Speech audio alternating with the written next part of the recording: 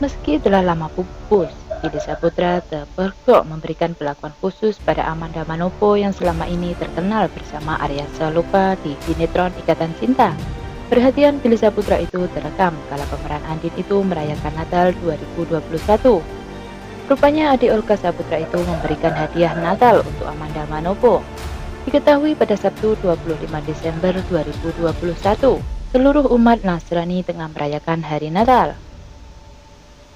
Meski di tengah pandemi, momen sukacita ini tetap disambut antusias oleh berbagai kalangan, termasuk selebriti tanah air. Salah satu artis cantik yang tengah merayakan Natal di hari ini adalah Amanda Manopo. Di momen bahagia ini, Amanda Manopo memamerkan sebuah hampers yang didapatkannya. Menariknya, salah satu hampers tersebut adalah pemberian dari sang mantan, Billy Putra. Billy Saputra tampak memberikan hadiah berupa hampers kue-kue Natal yang spesial untuk Amanda Manopo. Hal itu diketahui dari unggahan pemeran Andin di sinetron Ikatan Cinta itu lewat instastory-nya.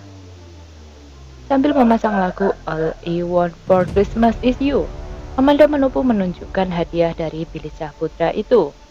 Dalam hampers tersebut terselip ucapan manis dari adik mendiang Olga Saputra itu untuk Amanda. Merry Christmas and Happy New Year, Billy Saputra.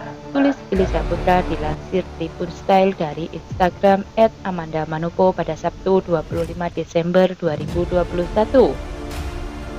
Tak memberikan keterangan apa pun, Amanda hanya memberikan tag akun Instagram milik Billy Saputra. Hal ini memberikan sinyal Billy Saputra tetap ingin menjalin hubungan baik meski telah putus dengan Amanda Manopo.